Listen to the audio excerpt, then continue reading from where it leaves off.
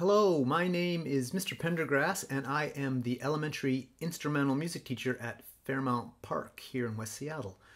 I miss my students very much, so I'm glad to be with you sharing my love of music today.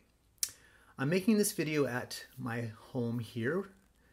We call this the office. I live here with my wife, who is the counselor also at my school. I have two grown boys, uh, one who lives north of here in Mukilteo, and my other son lives in Portland with his wife.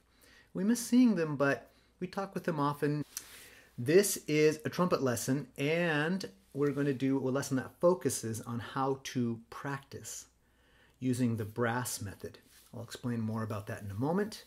We're going to review some of our pitches using some songs you may know, and then I will introduce you to our new piece, Imperial March from Star Wars. So for this lesson, you're going to need your trumpet, all right? Uh, you don't necessarily need a music stand for this lesson today, but it's always nice to have one. And you're going to need a paper to take some notes and a pencil. So I'll give you a moment to gather all your materials.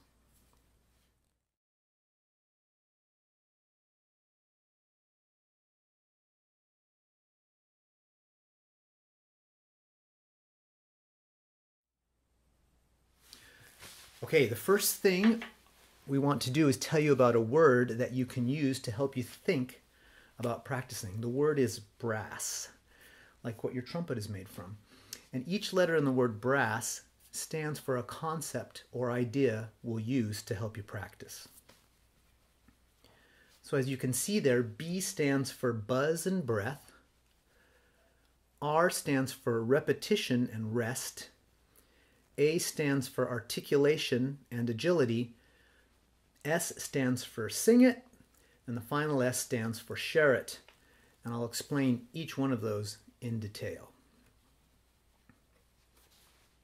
I'd like to start with that first B, buzz and breath. You already know that to make a sound on the trumpet, we buzz our lips into the mouthpiece, and without a good breath or buzz, it won't make a good sound.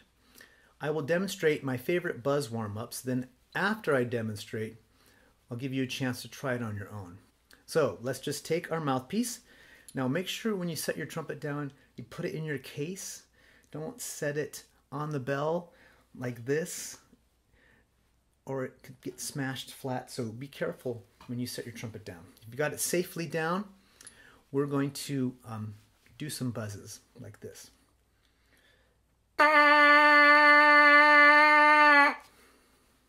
Okay, make sure you have a lot of breath, the other part of B in brass, and really have a solid buzz. Listen. Try to think of blowing warm, fast air to get a good buzz. Okay, now let's do some sirens just on the mouthpiece like this.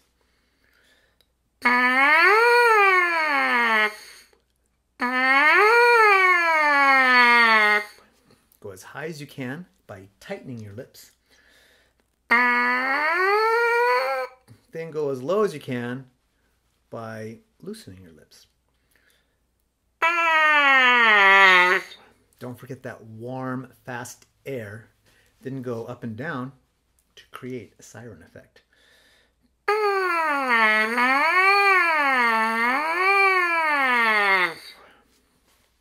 Now, finally, for our last part of the mouthpiece only warm up, we're going to buzz a song. What do I mean? Well, listen to this and see if you can name this tune by just me buzzing it. I hope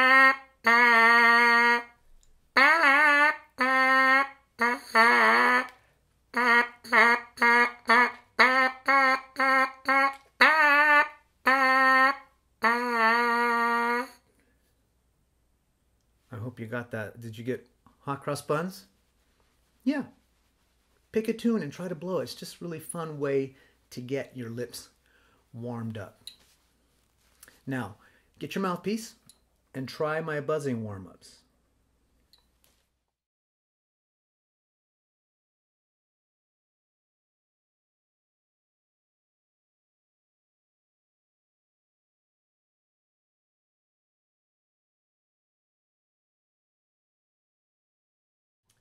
Okay, now we are ready to put our mouthpiece on our trumpet. Now, when you put your mouthpiece on your trumpet, just set it on there. Don't bang on it with your hand. I know it makes a really cool noise, but if your mouthpiece gets stuck, it's a real bummer and you need a special tool to take it out. So just set it in there, maybe do a little twist, and that's all you need.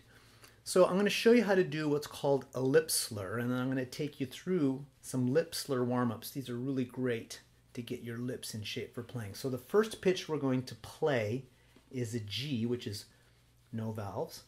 I'm going to play G, and then I'm going to lower my lips to play the note below it, which is C, also no valves. Then I'm going to tighten my lips and go back up to G. This is called a lip slur, and it sounds like this.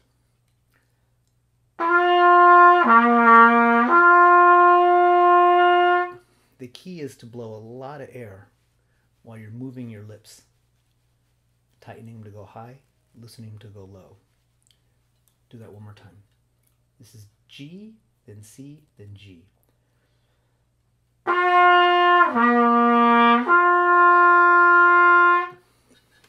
Now, once you have that lip slur, press down on the following valve combinations, and you'll see from this chart. Second valve.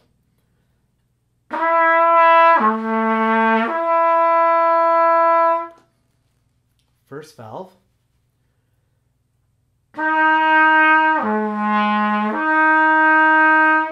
First and second valve.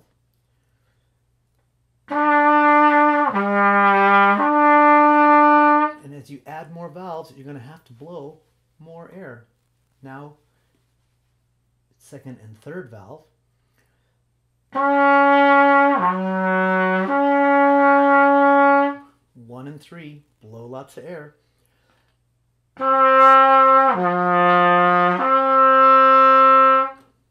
One, two, and three.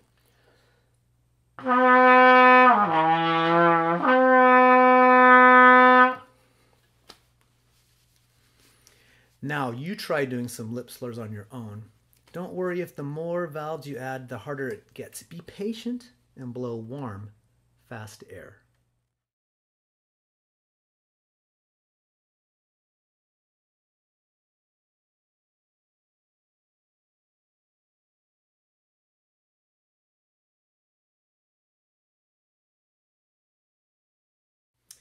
Okay, let's try some songs you might know, but we're going to sing these songs while we finger them. I call this sfingering your music. I use this completely made up word with my students all the time. And when they hear me say, let's sfinger this song, they know it will go something like this. Mi, re, do, mi, re, do, do, do, do, do, re, re, re, re, mi, I'm sure you recognize that tune, Hot Cross Buns, but notice I sang it with the syllables mi, re, and do, and while I was singing, I was pressing down the valves or fingering the pitches at the same time. Here's the deal if you can sing it, you can play it. It's really important on the trumpet. If you don't know how to sing with do, re, mi, try using the words to the song or singing the pitch names like this. Hot cross buns, or with the pitch names. E, D, C, then play it.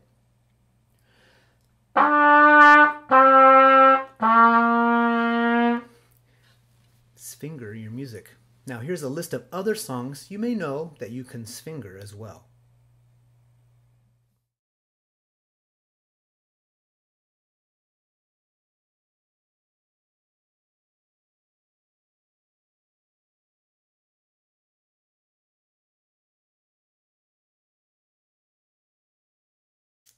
Okay, we are ready to learn the Imperial March from Star Wars. Let me play it for you while you look at the music. I'm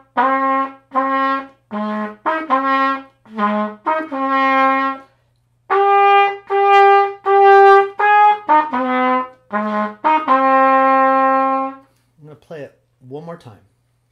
Maybe you could finger it.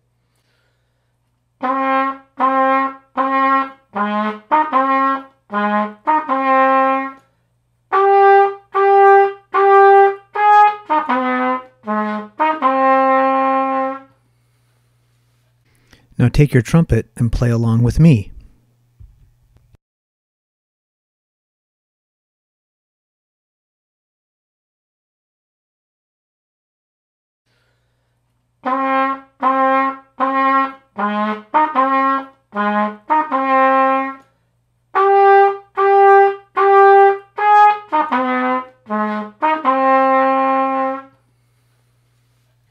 Notice I've given you the fingerings of some pitches you may not know. You're going to need a lot of air for that high B flat, that first valve, which is the highest pitch in the song. And you're going to also need a lot of air to play that low one, two, three D flat. So take your time and rest when needed.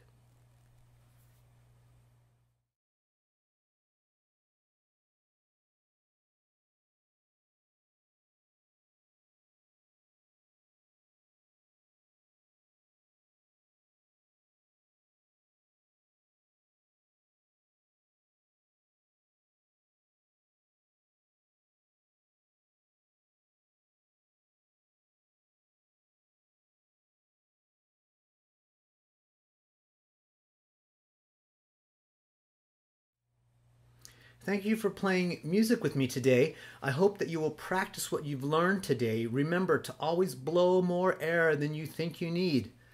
That warm, fast air is key. You can do the last S in brass today.